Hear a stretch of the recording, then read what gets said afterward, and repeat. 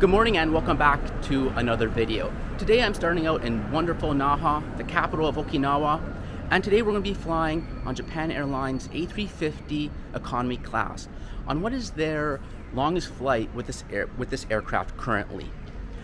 Right now it's about 8 o'clock in the morning, my flight's at 11.20, so I'm just going to make my way to the airport.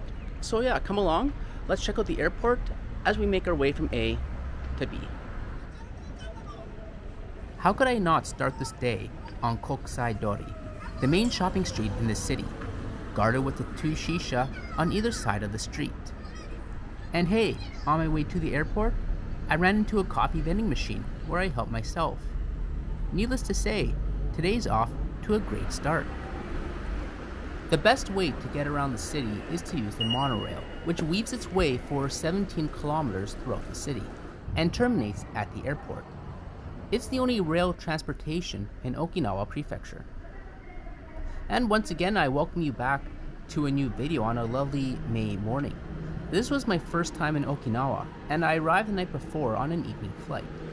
It's always enjoyable to visit another corner of Japan, but as this was a weekend, it was a quick one night trip. Anyway, with the monorail, it's not too long before we arrive at the airport, which is located on the south end of the city. On the east side of the third floor lies the domestic check-in with ANA and JAL commanding the majority of the area. There's a Tully shop located on the far end. The west side of the airport, down a fairly lengthy walk, is for international travel. In May 2022, international flights were still only allowed through only four airports throughout Japan, and Naha wasn't one of them. Back on the domestic side, the three floors offer a nice selection of shops, restaurants, and convenience stores. What separates this airport from others in the country is that it has an A&W. Yum. The gift shops are worth browsing as well. They sell many Okinawa products which are more difficult or impossible to find on the mainland. And like many airports in Japan, I suggest hanging out on this side for the majority of your time.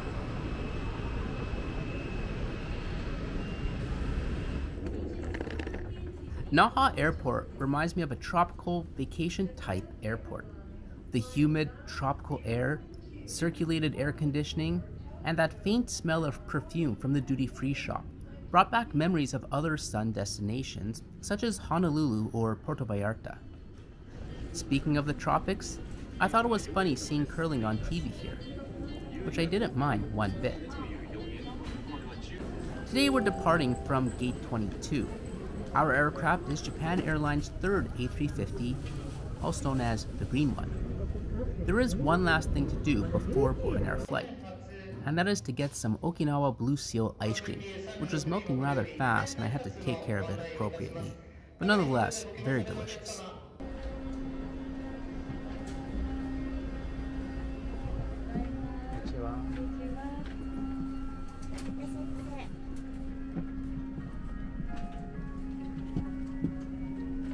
Today we're in 22K in the front of the economy cabin. And parked beside us is Japan Transocean Air, a subsidiary of Japan Airlines based in Naha. JTA's previous name? Southwest. Huh, the more you know. There are two layouts for the A350. This particular aircraft is set up with the X12 layout with a larger economy cabin. Economy class yields a 31 inch seat pitch and there's six lavatories on board. We're on the third A350, which was delivered to Japan Airlines in September 2019.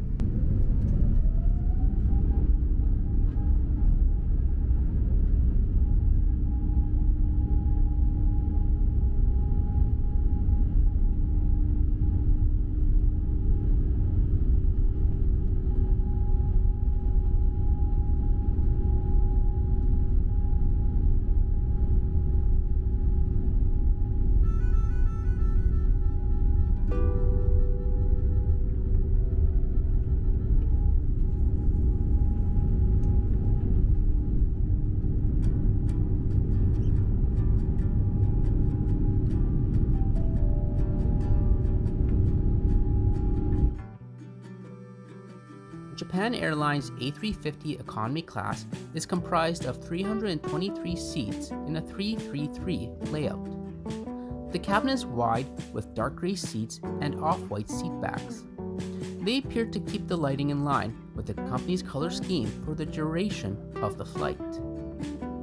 Perhaps because Okinawa is realistically only accessible by air, I found that the flights on this route are operated at a higher occupancy rate than perhaps other destinations in Japan. The seats are dark gray and provide an adjustable headrest. Seatback contains a 10 inch monitor, which can be adjusted should the person in front of you recline their seat, a pocket for your fine reading material, a well positioned power outlet, which I think is better suited higher up than down below, the tray table, which also has a cup holder, and below is a trio of pockets and plenty of space with that 31 inch seat pitch. The tray table folds out, providing increased space and is adjustable clicking into place. and above is a reading light. This economy seat must be one of my favorites. All aspects have been well thought out from the guest's standpoint and provide all the essential components in a thoughtful manner. The seat pocket contains the safety card, Wi-Fi connection guide, and Japan Airlines Skyward magazine. This month's focus is Okinawa. Using the guide, it's easy to connect to the Japan Airlines complimentary Wi-Fi. And since you're very likely watching this over Wi-Fi, why not subscribe if you haven't already for more aviation and travel related content. Speaking of which, this will be my last review of a Japanese carrier for some time, as I'll be flying back to Canada for a few weeks, so I'll be bringing you some content from that part of the world very shortly. For the drink service, I changed it up a little bit and I went with a beef consomme soup instead of a coffee, and I picked up a can of chips at the airport. The in-flight entertainment system is very quick on these A350s. There's a reasonable amount of media to get you through the flight. As I fly Japan Airlines about once every month or two, I know that they do a great job of cycling through the episodes of different series, so there's always something new to watch.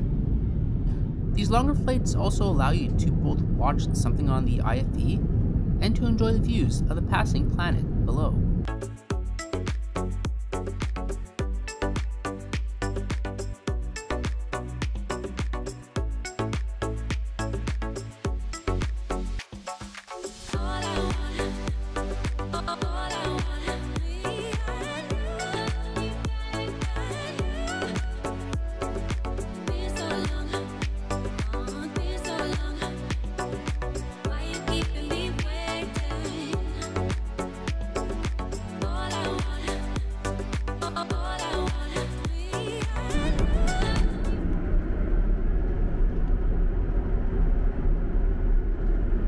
The lavatories on board were nice and clean. Japan Airlines went with a darker wood theme design for the lavatories, and I think it was a good choice.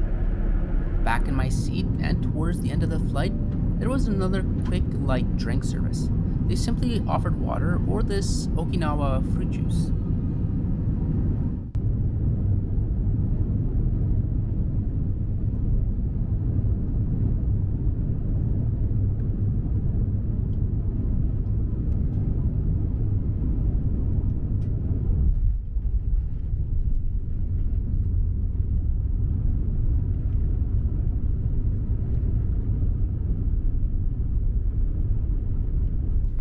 Cost of this flight came to 10,700 yen, a remarkable price for this flight.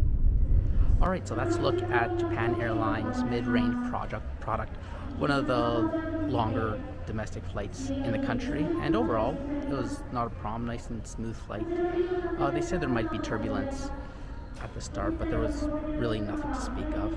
Uh, the only thing I would say is on a full flight like that, I, I thought it got uh, a little warm, not uncomfortable, but that scenario where that uh, personal air vent would come in handy. Other than that, no problem. Um, let me know what you thought about the Japan Airlines flight. Thanks for watching, and I'll see you around next time.